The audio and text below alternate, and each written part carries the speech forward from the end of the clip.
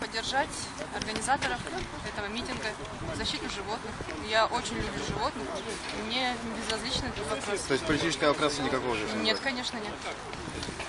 А Как вы можете охарактеризовать действия полиции, когда вас задержали на недавней вашей акции?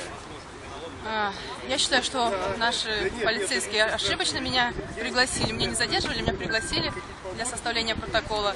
И считаю, что наш суд все-таки законный, гуманный Вынесет на... и вынесет да, решение в мою пользу.